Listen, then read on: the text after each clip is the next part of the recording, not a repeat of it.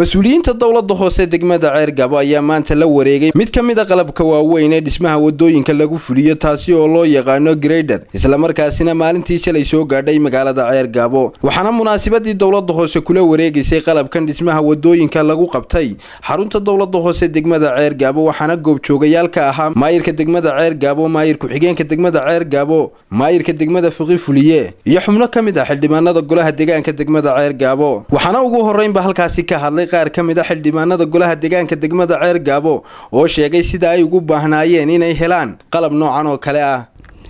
Iyadoo aynu ogsoonnahay oo macadaadkeennii hore ay magaalada inoo dhiseen tanna alxamdulilahi rabbilcaalamiin waa mid kaloo noogu soo korodhay. Haddana waxaa noogu jira qorshaha tii daamurka karagsharkii arrimahaasoo dhan waxaan u baahannahay markaa in dadweynaha reer ceergaabo ay hadday doonayaan magaalo qurux badan ay iyana cashuurta bixiyaan. Insha allah waxaan rajaynaynaa inaanu noqon kii ugu dembeeyey ee uu noqdo mid intaa ka sii socda.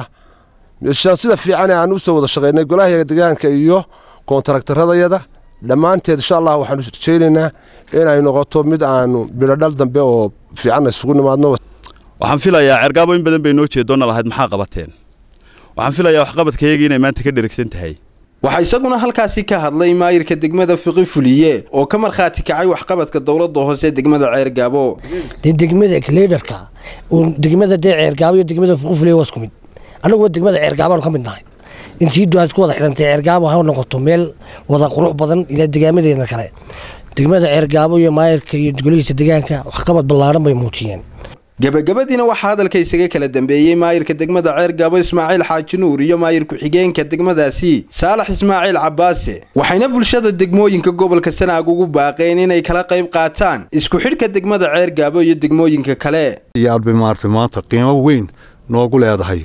Oo ay ku soo beegantay saddex guuradii golaha deegaanka. Aad bay qiimo noogu leedahay. Waxaan aad ugu mahad celinaynaa hay'adda dhay iyo u s aid oo iyagu wax badan ka qabtay degmadan ceeri gaabo waad aragtaan waxqabadkii golaha deegaanka. Uu meeyarka hogaaminayo ismaaciil xaaji nuur faarax. Uu hogaaminayo waad aragtaan iyo dowladdii hoose waxqabadkeedu waa aragtaan. Waxaannu aad idinka codsanaynaa inaadaan ku dhaga adeegin cashuurta. Cashuurta xaqa dowladdu idinku leedahay inaydaan ku dhaga adeegine bixisaan. Waxaan runtii aad iyo aad ilaahay ugu mahadnaqaynaa in ilaahay wax badan noo sahlay. Oo dhinaca macdaadka saa laydin soo sheegay ilaa iminka dee wax naga dhiman hal shanna gacantaanu ku hayno. Halkana waxaan rajaynaynaa sanadkan hornaantiisa hore ilaahay gacanteeda soo geliyo. Wixii noo qabsoomaynaa dee waxay ka mugtaan magaalada waan laami lahaan jirin. Maantana meel walba laami lagu wareegayo. Hadda wixii aad nala qaban doontaan waxaan rajaynaynaa inaanu degmooyinka kale aadna gacan naga siisaan baan idinka codsanaynaa aad iyo aad waxaan dadweynaha reer ergaaba u sheegaynaa in badan baa odhan jirteen waxba la qaban maaye.